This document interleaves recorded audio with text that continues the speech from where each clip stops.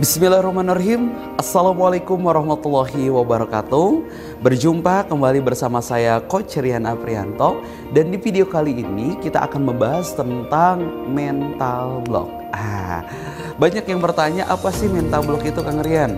Dan apa memang hal buruknya saat mental block itu terus tersimpan di dalam pikiran kita Di dalam diri kita, dalam perasaan kita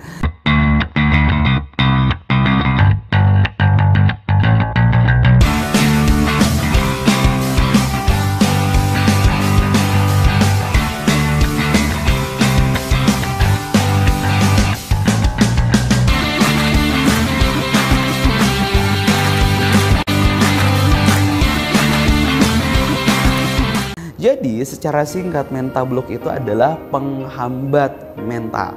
Artinya apa? Misal kita mau melakukan sesuatu nih, kemudian tiba-tiba kita jadi takut untuk melakukan itu, kita jadi malu melakukan itu, kemudian kita jadi grogi melakukan itu. Itu artinya ada mental block. Misalnya kita mau tampil bicara di depan umum, pas kita mau tampil padahal sudah dipersiapkan gitu ya. Uh, apa konten yang akan disampaikan, materi presentasi dan sebagainya. Hanya saja ternyata saat kita mau tampil dan kita melihat ada audiens, wah banyak banget audiensnya, tiba-tiba deg-degan muncul. Wah audiensnya ada atasan, wah tiba-tiba grogi muncul. Audiensnya ada yang cemberut seperti menilai, wah akhirnya merasa nggak nyaman. Dan apa yang terjadi saat mental block itu muncul, performa kita akan menurun. Dan saat mental block itu muncul, biasanya isi pikiran kita hilang atau ngeblim dari apa yang kita sampaikan. Lalu Bagaimana dong Kang Rian cara melakukan atau melepaskan problem atau mental block tadi? Caranya yang biasa kami sampaikan adalah dengan menggunakan teknik EFT. EFT ada tiga langkah sederhana. Yang pertama adalah set up, gerakannya seperti ini. Yang kedua tune in. Yang ketiga tapping. Ulang lagi, tiga langkah EFT. Yang pertama set up. Yang kedua tune in, yang ketiga tapping. Apa itu setup? Setup kita mengetuk titik meridian yang ada di sini sambil seperti ini lalu ucapkan kalimat setupnya. Bagaimana kalimat setupnya? Rumus singkatnya seperti ini. Ya Allah, walaupun saat ini saya titik-titik, saya ikhlas, saya pasrah, saya terima. Itu rumus pertama ya. Titik-titiknya sebutin masalah. Misalkan, ya Allah, walaupun saat ini saya grogi bicara di depan umum. Saya ikhlas, saya pasrah, saya terima. Atau misalkan masalah yang lain, kita punya masalah misalkan uh, kita deg-degan nih, deg-degan atau misalkan kita punya masalah, wah kita lagi kesel sama seseorang. Ah, bisa. Ya Allah, walaupun saat ini saya kesal terhadap seseorang, saya ikhlas, saya pasrah, saya terima. Nah, ulangi sebanyak tiga kali. Itu rumus pertama. Atau rumus yang kedua, yaitu Ya Allah, walaupun saat ini saya titik-titik, saya ikhlas, saya pasrah, saya ridho, saya serahkan titik-titik. Nah, untuk rumus yang kedua, terimanya diganti dengan ridho plus ada tambahan sampaikan harapannya.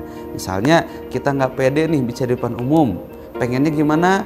Pengen tenang. Nah, berarti ya Allah Walaupun saat ini saya nggak pede bicara di depan umum, saya ikhlas, saya pasrah, saya ridho, saya serahkan ketenangan hati saya saat tampil bicara di depan umum.